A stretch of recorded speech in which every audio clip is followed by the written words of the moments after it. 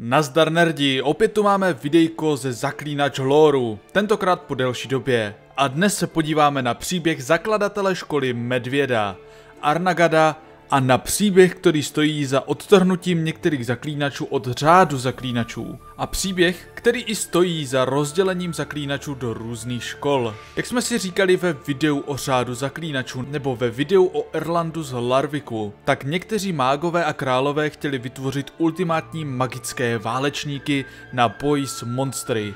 Nakonec ale tito uměle vytvoření bojovníci zvládali jen obyčejné zaklínadla a ne opravdovou magii a tak byli vyhnáni z hradu Risberg a nazvány zaklínači.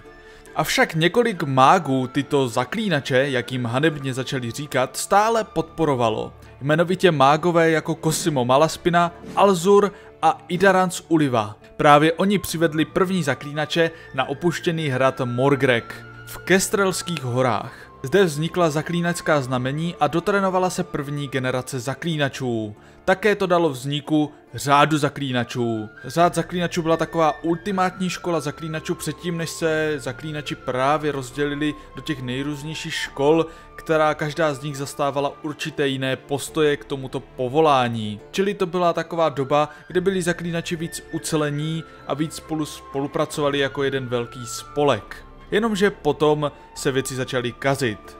Zatímco první zaklínači vyrazili do světa, mágové začali shánět další děti pro trénink a mutace, aby vznikaly další generace zaklínačů.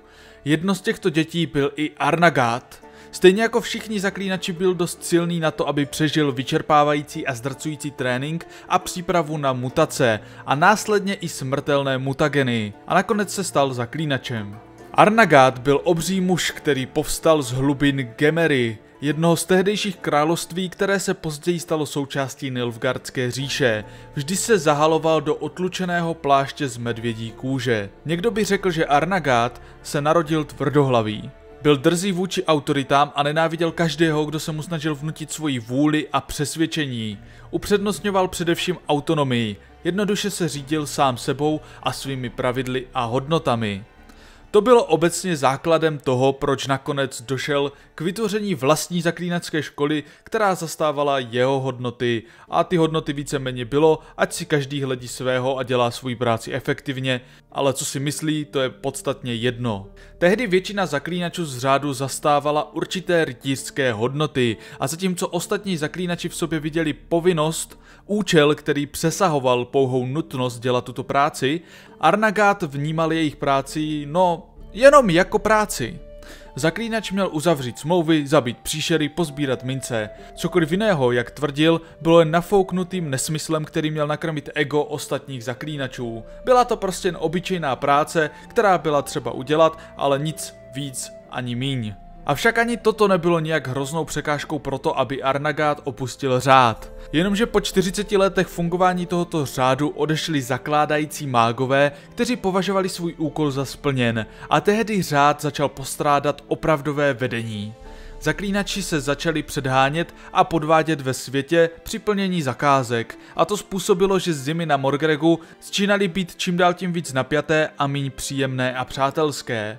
Arnagat vyvolával respekt mezi mnoha ostatními zaklínači. Přesto nikdy neměl pocit příbuznosti s ostatními zaklínači ani je nevnímal jako své bratry, i přestože většina zaklínačů na sebe tak pohlížela. Arnagádovi postoje se ukázaly být velmi jasné potom, co zautočil na Rise, kolegu zaklínače. Rys byl zaklínač, co si hleděl svého a dělal svoji práci, jak nejlépe dokázal. Jednou zavítal do Kádvenské Vysočiny, kde měli problém s čertem a tak si vyjednal cenu za hlavu tohoto čerta, který terorizoval vesnici a pustil se do práce. Jenomže nedlouho na to dorazil i Arnagát, který šel do vesnice s úmyslem ulovit také tohoto čerta a převzít si odměnu. Poté, co se ale dozvěděl, že smlouvu již převzal jiný zaklínač, Arnagádova krev se začala vařit. Přece se nebude vracet po několika denním cestováním za tímto cílem. Tak tedy našel Ryse a při své zuřivosti ho v lese sekl od ramene k pasu. Rys však unikl poté, co tímto přivolali čerta, což Arnagáda donutilo bojovat s touto bestií, aby přežil a vybral tak svou odměnu. Díky tomu Rys uprchl na Morgrek a mohl ostatním zaklínačům říct, co se stalo v této pevnosti řádu. Díky tomu Rhys uprchl na Morgrek, pevnost řádu a mohl tak ostatním zaklínačům říct, co se stalo. Jelikož Arnagádovi bylo jasné, že jeho bratři ho za toto budou chtít potrestat, tak i hned potom, co se vrátil do pevnosti, začal shromažďovat bratry, kteří k němu vzhlíželi a měli k němu respekt a sdíleli ideály.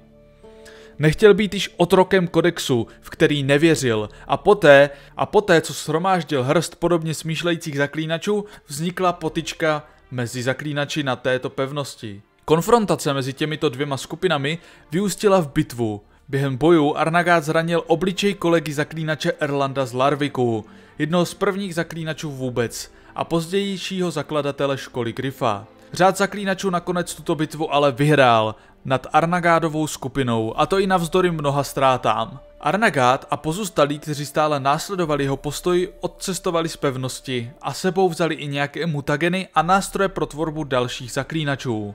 Nakonec dorazili do Amelských hor a usadili se v pevnosti uprostřed zledovatělých svahů a založili školu Medvěda. Místo, kde by budoucí zaklínači mohli být poučeni o praktičnosti svého obchodu, aniž by je rozptilovali bláboli o čestných cnostech a hodnotách které by jim bránili pouze v tréninku a efektivnosti při práci. Zaklínači této školy také vytvořili kontakty a vztahy s gnomy a trpaslíky žijícími v této oblasti.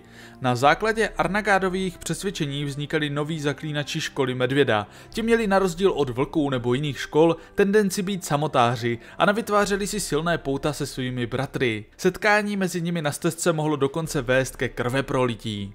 Je ironií, že základy školy, které prosadil Arnagát, nakonec vedly k tomu, že velká část zaklínačů školu opouštěla a už se nevracela. Pro zaklínače školy Medvěda bez sentimentu nebo bratrského soucitu, který by je svázal, neexistoval důvod, proč zůstávat nebo být loajální ke škole protože neviděli žádný praktický důvod pro to, aby zůstali věrní jeden druhému nebo velmistrovi své školy, což byl jeden z důvodů zániků této školy Medvěda. Kvůli tomu jednou málem i Arnagát zemřel. Nějaký čas po založení školy se totiž jedna skupinka medvědů spojila a rozhodla se školu zradit. Vzít si potřebné věci pro vznik nových zaklínačů, aby si založili svoji vlastní školu. Během této události těžce zranili Arnagáda, že málem zemřel.